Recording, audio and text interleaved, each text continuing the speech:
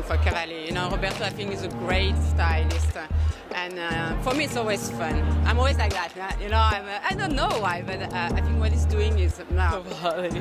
I think everything about Roberto Cavalli is always um, an anticipation.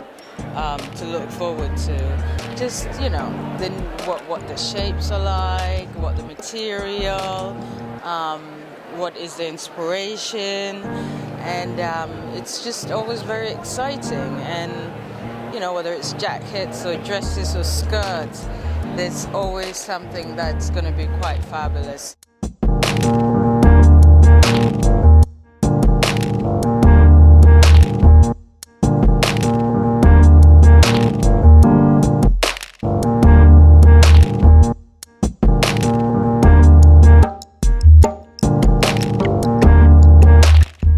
Thought it was amazing and extraordinary and over the top and beautiful and extraordinary craftsmanship. And it's amazing to see that we can still see a show like that. Um, you know, it's a day of fantasy.